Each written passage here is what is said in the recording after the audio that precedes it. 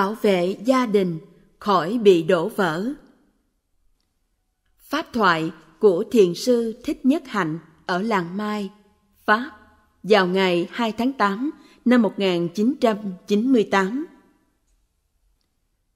Có một con sư tử mẹ đang đi kiếm ăn. Nó sắp làm mẹ. Buổi sáng đó, nó chạy đuổi theo một chú nai. Chú nai con chạy thật nhanh, giàu sức yếu.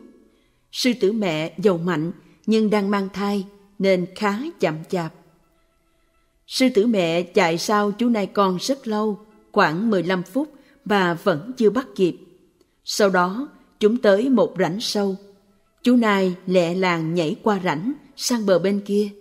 Sư tử mẹ rất bực tức vì không bắt kịp con mồi và vì nó đang cần thức ăn cho cả nó và đứa con trong bụng. Vì thế, nó cố hết sức để nhảy qua cái rãnh sâu. Nhưng tai họa đã xảy ra. Sư tử mẹ đã sảy đứa con khi cố nhảy qua rãnh.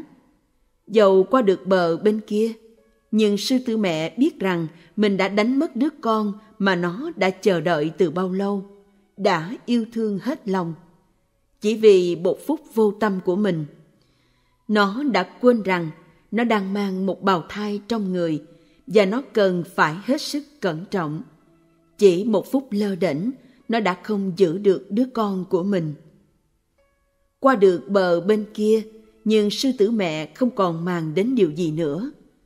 Nó không còn muốn chạy đuổi theo con nai nữa, không muốn cả ăn hay uống. Sư tử mẹ nghĩ rằng mình không đáng sống nữa. Sư tử mẹ chỉ còn biết đứng bên rãnh sâu mà khóc. Đó là một trong những câu chuyện đã được Đức Phật kể trong kinh. Trở về hang, sư tử mẹ rất buồn. Cả tuần nó chẳng muốn ăn uống gì vì trong lòng quá đau buồn. Đứa con là lý do để nó sống, thì làm sao nó có thể hạnh phúc khi đã mất con? Nhưng với thời gian, sư tử mẹ cũng nguôi ngoai. Nó lại bắt đầu đi săn cho chính mình vì nó cũng đói. Giờ nó có thể chạy nhanh hơn vì không còn phải mang bào thai trong bụng. Nên việc bắt mồi cũng đơn giản đối với nó. Cho đến một ngày kia, khi đang đi trong rừng, nó bắt gặp một chú sư tử con đang leo cây với một bầy khỉ. Chú sư tử nhỏ leo cây cũng giỏi như bầy khỉ. Sư tử mẹ suy nghĩ, đây đúng là đứa con mà mình nghĩ nó đã chết. Nhưng nhìn kia, nó vẫn còn sống. Và đó là sự thật. Khi sư tử mẹ sinh rớt con xuống rãnh sâu, có một con khỉ to ở trên cây đã nhìn thấy hết. Nó nhảy xuống rãnh và đem chú sư tử con về nuôi. Nhờ sữa khỉ mà sư tử con lớn lên. Nó cũng học trèo cây, học ăn trái cây. Thay vì rống như sư tử, nó học kêu như khỉ và nó đã sống chơi đùa với bầy khỉ rất hạnh phúc. Khỉ mẹ cũng yêu chú sư tử con giống như khỉ con của mình. Khỉ con và sư tử con chơi với nhau như anh em, không có sự phân biệt gì giữa chúng. Sư tử con cũng không nghĩ mình là sư tử, chứ không phải là khỉ. Ngày đó, sư tử mẹ nhìn thấy con trên cây với bầy khỉ. Nó suy nghĩ, con ta vẫn đang sống, nhưng giờ nó đã quen sống như một con khỉ. Vì thế, sư tử mẹ không nói gì. Nó hoạch định cách để đem chú sư tử con trở lại nhà. Vì thế, sư tử mẹ chờ một ngày khi bầy khỉ không có ở nhà. Nó đã đến bên chú sư tử con và nói Con không biết mình là sư tử sao? Không biết ta là mẹ con sao? Sư tử con trả lời Bà không phải là mẹ tôi, mẹ tôi không giống bà. Mẹ cho tôi sữa, mẹ ôm tôi trong vòng tay, bồng tôi lên cây. Vậy sao bà dám bảo là mẹ tôi? Tôi rất ghét bà. Sư tử mẹ biết rằng mình đã phạm sai lầm, nó đã nói không khéo léo. Đáng lý nó không được nói thẳng như vậy, nó phải nói khéo hơn. Vì thế nó quay đi và suy nghĩ. Ta phải tìm cách làm quen với con ta để đem nó về nhà, để hai mẹ con có thể sống trong tình thương yêu. Sư tử mẹ chờ đợi thêm 15 ngày nữa. Rồi khi thấy sư tử con đang chơi một mình, sư tử mẹ đến bên, nói bằng giọng rất lễ phép. Con ơi, hôm nay con vui vẻ không? Ta rất vui được gặp lại con. Ta xin lỗi rằng hôm nọ đã nhầm tưởng con là con ta, nhưng ta đã sai. Con là một chú khỉ con rất dễ thương. Ta muốn được kết bạn, muốn chơi đùa với con. Sư tử con nghe vậy, nó rất vừa lòng nên nói, Được, tôi vui lòng làm bạn với bà. Nhưng với một điều kiện, đừng bao giờ gọi tôi là sư tử con. Tôi là khỉ và bà phải gọi tôi như thế. Nhờ lời nói nhẹ nhàng khéo léo, sư tử mẹ được làm bạn với sư tử con. Chúng chơi với nhau một lúc, rồi sư tử mẹ nói, Thôi được rồi, giờ ta chia tay, ta sẽ trở lại chơi với con lúc khác nhé.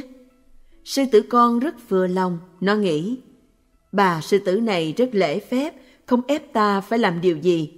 Chơi với bà cũng vui. Rồi một ngày kia, sư tử mẹ rủ sư tử con đi chơi xa, thật xa, vì chúng đã bắt đầu thân nhau. Sư tử mẹ đã rất kiên nhẫn, vì nó biết rằng nếu không kiên nhẫn sẽ không có cách gì để mang sư tử con trở về nhà trong gia đình để gặp lại sư tử cha và cộng đồng sư tử. Rồi chúng đến bên một dòng nước. Sư tử mẹ nói, Này con, hãy đến uống nước đi, ta rất khát.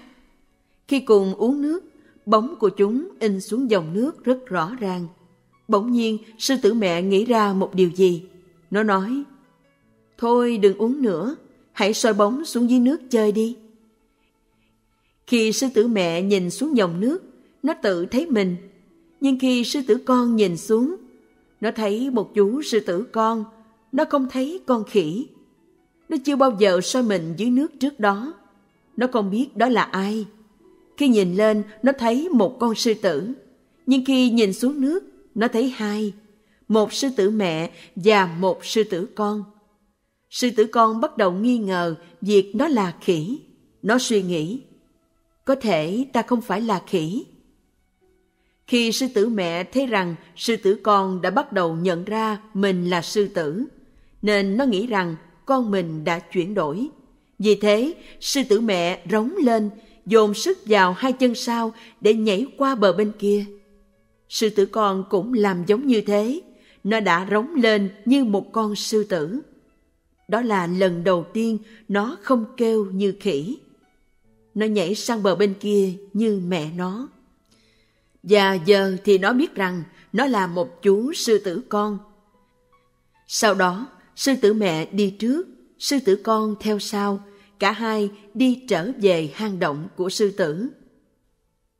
Chúng ta cần nhớ đây là câu chuyện Đức Phật đã kể với các đệ tử của Ngài. Sư tử mẹ đã biết làm thế nào để thở, và sư tử con cũng biết làm thế nào để thở.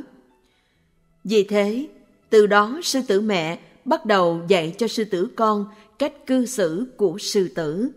Đi như thế nào, đứng như thế nào, nằm, ngồi, nói năng, rống như thế nào cho giống như một con sư tử.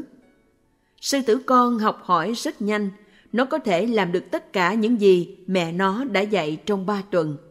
Giống như 21 ngày trong một khóa tu, chúng ta cũng có thể học hỏi tất cả mọi thứ trong 21 ngày đó.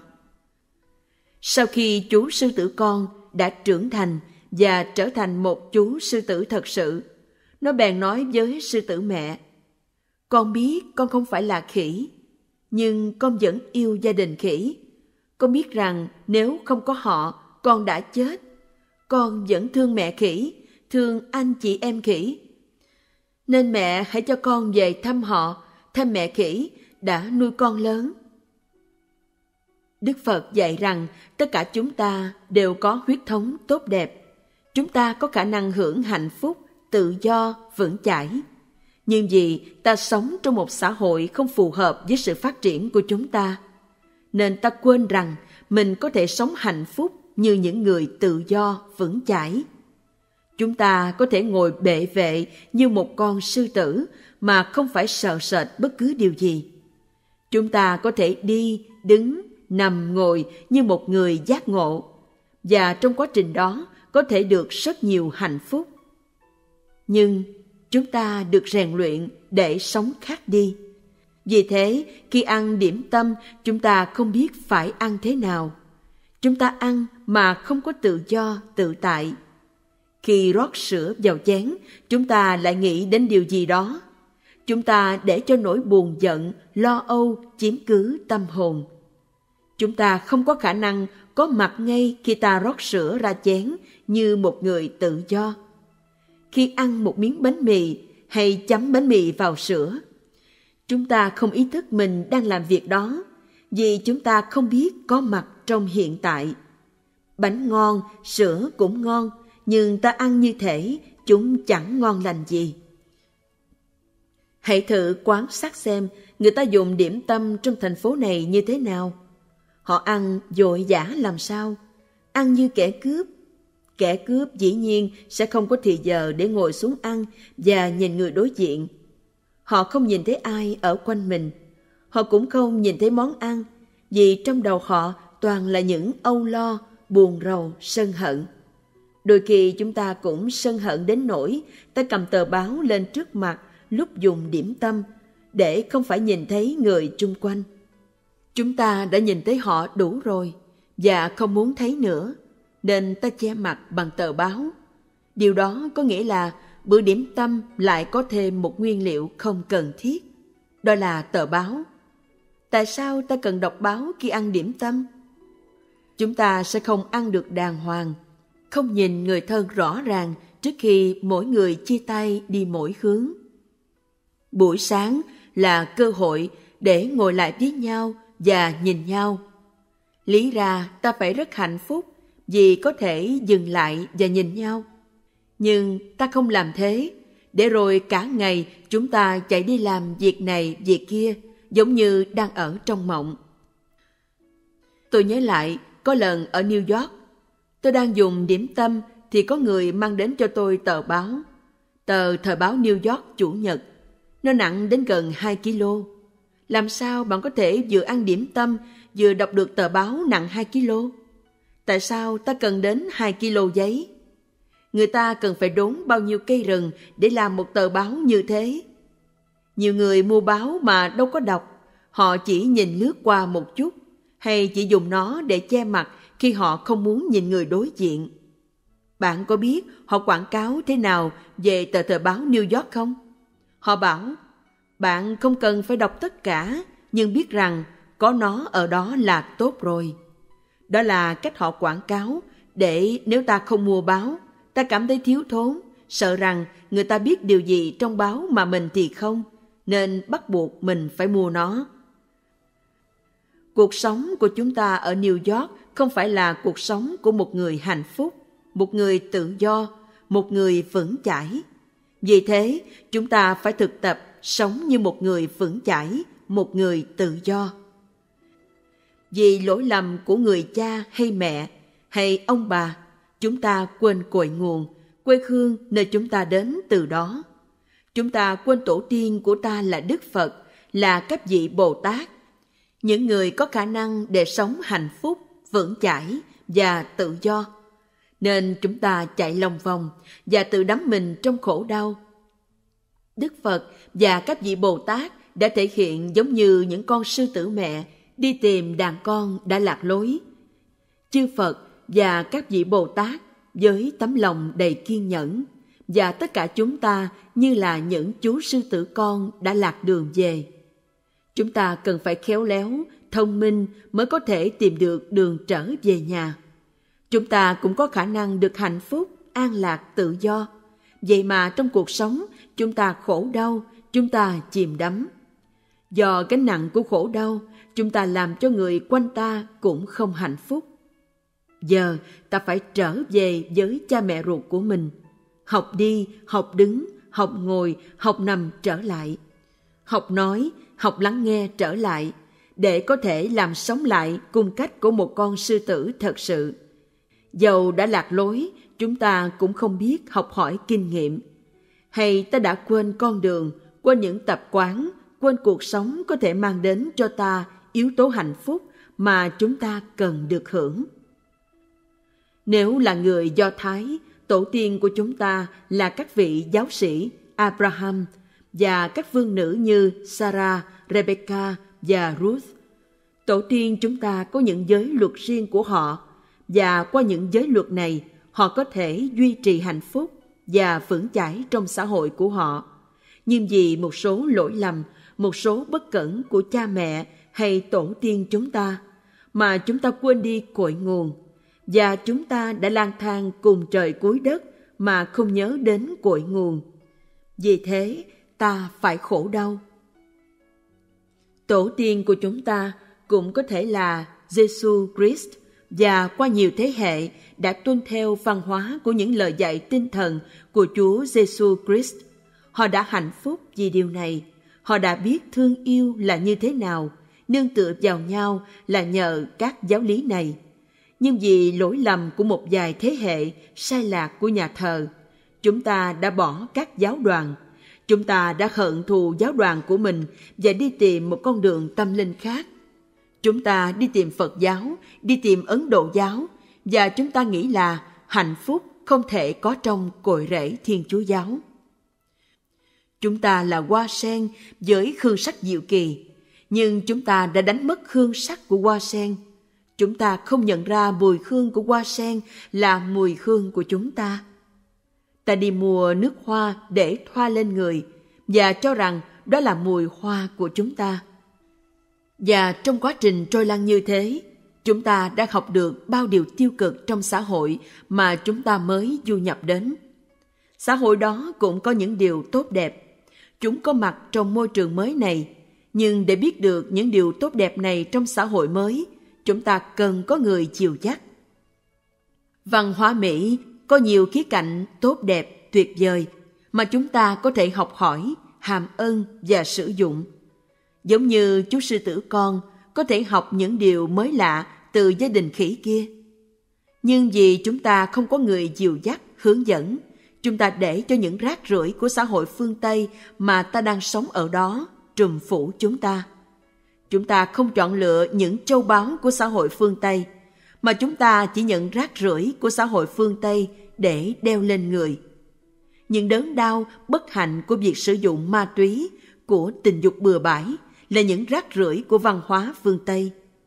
Khi ta bỏ những thứ đó vào đầu, vào lòng ta, thì thân tâm ta sẽ khổ đau, và ta sẽ khiến cha mẹ ta khổ đau, tổ tiên ta khổ đau. Chúng ta không biết rằng có châu báu, có những giá trị trong xã hội phương Tây mà ta có thể học hỏi để làm giàu thêm cho văn hóa của bản thân. Ta cần biết rằng trong văn hóa của chính mình, trong văn hóa Việt Nam cũng có châu báu và chúng ta phải gom góp chúng lại, học hỏi, vì chúng ta đến từ văn hóa đó. Đó là nền tảng của chúng ta. Nhưng vì chúng ta giận hờn cha mẹ, chúng ta không thể nói chuyện, trao đổi với họ. Do đó, cha mẹ chúng ta không thể chuyển giao cho chúng ta châu báu, những tinh hoa của truyền thống, phong tục cổ truyền.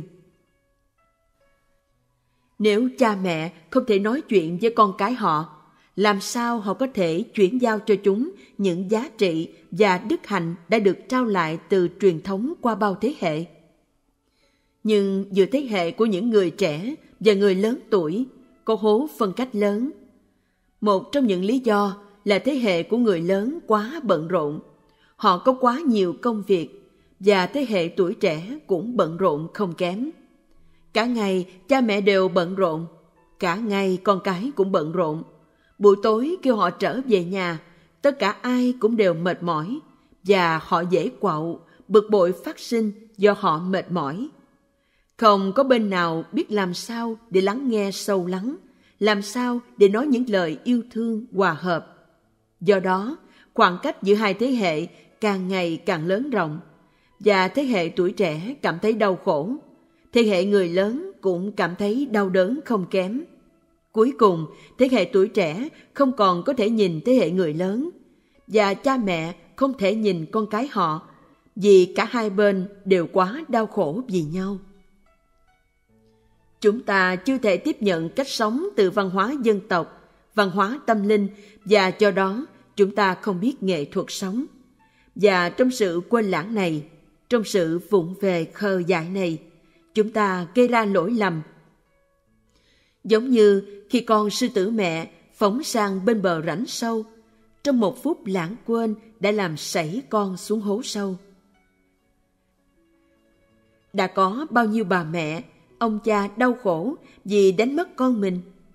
Tại sao họ mất con? Vì họ đã vô tâm, vì họ vụng về.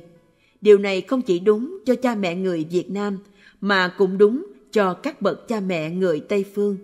Vì có quá nhiều cha mẹ người Tây Phương quá bận rộn, họ không có chánh niệm, họ vụng về, do đó họ cũng đã đánh mất con cái mình.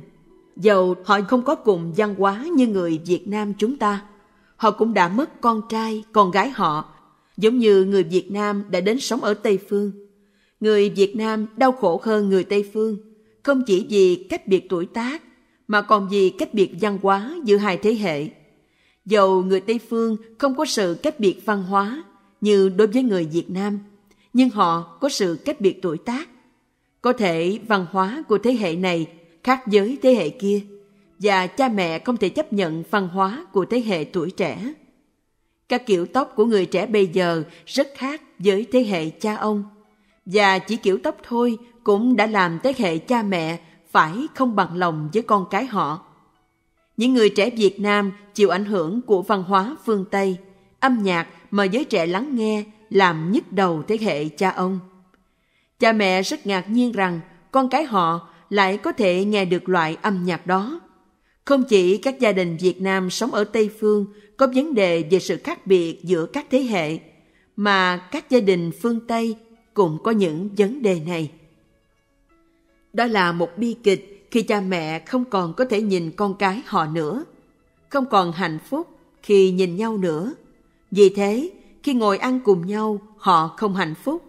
Vì không có hạnh phúc, chúng ta đặt tờ báo trước mắt mình để không phải nhìn thấy các thành viên khác trong gia đình. Có những gia đình mà không ai muốn nhìn mặt ai, họ chỉ muốn nhìn về hướng khác. Đó không phải là hướng của những lý tưởng chung. Đó là hướng của chiếc truyền hình. Nhìn vào hướng đó để bớt khổ đau, để quên khổ đau. Họ đang chạy trốn khỏi thực tại, thực tại của khổ đau. Nhìn người thân, ta không còn cảm thấy họ thân thiết nữa. Gương mặt họ luôn khổ đau và khi những người này nhìn lại chúng ta, họ cũng không thấy gì ngoài khổ đau trên gương mặt ta. Do đó, dường như ta đã có một hiệp ước ngầm rằng cả hai bên đều nhìn vào truyền hình để không còn khổ đau nữa. Đó là những gì đang xảy ra trong rất nhiều gia đình. dầu chúng ta làm như nó không đang xảy ra. Giờ ta phải có can đảm nhìn thẳng vào sự thật và tự hỏi mình tại sao? Tại sao ta để cho điều đó xảy ra? Sư tử mẹ đã phạm một lỗi lầm. Bà đã để sư tử con rơi rớt, để mất nó. Chúng ta cũng thế. Chúng ta đánh mất con cái mình vì sự dài khờ của chúng ta. Và con cái chúng ta cũng không còn cha mẹ, dầu chúng ta vẫn còn ở cõi đời này. Nhưng cha mẹ không thể yêu thương con cái họ nữa, không thể ôm ấp chúng nữa, không thể ngồi ăn với chúng nữa, và con cái không còn thấy giá trị của cha mẹ nữa. Đó là một bi kịch lớn, không chỉ cho người tị nạn Việt Nam ở phương Tây, mà còn cho cả những người đã có mặt ở đó lâu hơn. Có những người cha mẹ khi thức giấc, giống như con sư tử mẹ khi thức giấc, nhận ra được sự phụng về của mình, những lầm lỗi mình đã phạm trong quá khứ, và họ tu tập để mang những đứa con trở về. Chúng ta biết rằng sư tử mẹ rất kiên nhẫn, đầy tình thương. Dầu đôi khi nó phải nói những điều không muốn nói, những điều rất khó nói, như này con, ta rất lấy làm tiếc, nhưng con không phải là sư tử con, mà con là khỉ, ta đã không tế nhị. Bạn có thể thấy là sư tử mẹ rất đau khổ khi nói lên những lời ấy, nhưng vì yêu thương chú sư tử con mà nó phải nói lên những điều này. khi chúng ta là người cha hay người mẹ đã đánh mất hay sắp mất con cái chúng ta cũng phải tỉnh giấc để thấy nguy cơ sắp mất con.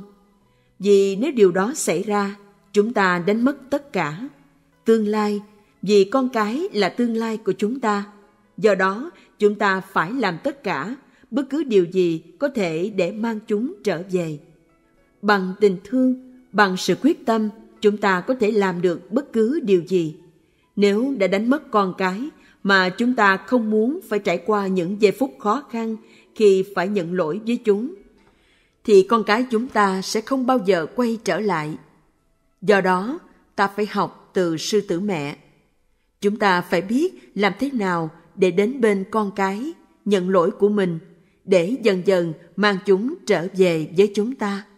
Lúc đó, mối liên hệ giữa con cái và cha mẹ có thể được nối kết trở lại. Sau đó, chúng ta có thể giao truyền cho con cái những điều tốt đẹp của nền văn hóa từ quê hương xứ sở, từ nền văn hóa tâm linh đến từ chư phật và các vị bồ tát.